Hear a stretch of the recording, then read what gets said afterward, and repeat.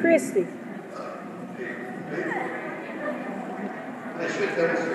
Easiest way is you know the easiest way to hold the launcher, put the ball where on top, first down and just kind of it. That way you.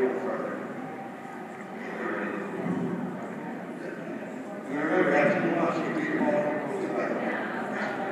Right, you guys ready? Set. Okay. Go.